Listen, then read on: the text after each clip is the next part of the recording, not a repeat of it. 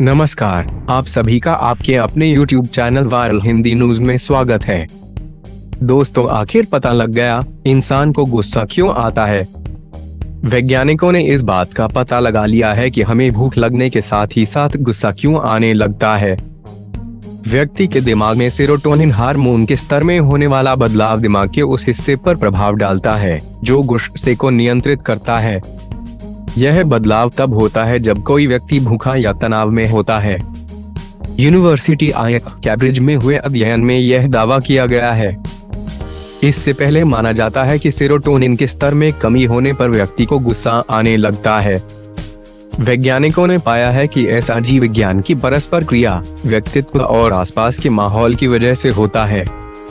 America के university of north केरोलाइना की एक डॉक्टर छात्रा जेनिफर मैकोरमाग ने बताया, हम सभी जानते हैं कि भूखा महसूस करने से कभी कभी हमारी भावनाएँ और दुनिया को लेकर हमारे विचार भी प्रभावित होते हैं।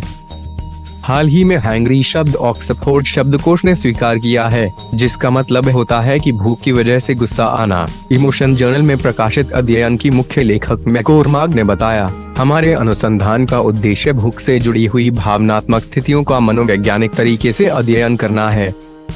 जैसे कि कोई कैसे भूखा होने के साथ ही गुस्सा भी हो जाता है। उन्होंने बताया कि इस संबंध में 400 से ज़्यादा लोगों पर किए गए अनुसंधान में पता चला है कि सिर्फ़ माहौल ही इस बात पर असर नहीं डालता है कि क्यों कोई भूखे होने से गुस्सा हो जाएगा। यह लोगों के भावनात्मक जागरूकता के स्तर से भी तय होता है। वे लोग जो इस बात के प्रति अधिक जागरूक होते हैं कि उन्हें भूख लगी है या नहीं, ऐसे लोगों में गुस्सा होने की संभावना कम होती है। अब पहली बार यह बताया गया कि यह रसायन किस प्रकार व्यक्ति के व्यवहार पर प्रभाव डालता है।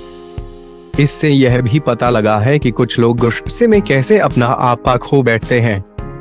इस अध्ययन को बायोलॉजिकल साइकेट्री में प्रकाशित किया गया है। इस अध्ययन से वैज्ञानिक क्रोध को नियंत्रित करने वाली प्रभावी दवाओं और उपायों को विकसित कर सकेंगे।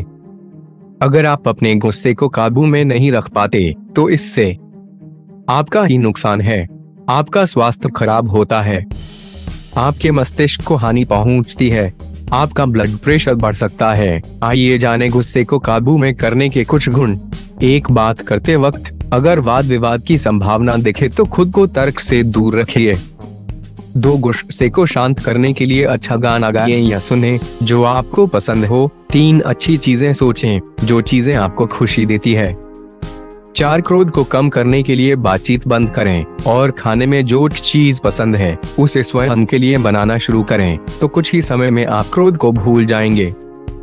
पाँच, योगा। हमारे शरीर और मन की संतुलन को ठीक रखने में हमारी मदद करता है। हर रोज योगा का और मेडिटेशन का प्रयास क्रोध को नियंत्रण करने में बहुत हद तक मदद करता है। दोस्तों, में आप तक नई नई वीडियो पहुंचाता रहूँ। इसके लिए आप मेरा चैनल सब्सक्राइब करना ना भूलें। Thank you.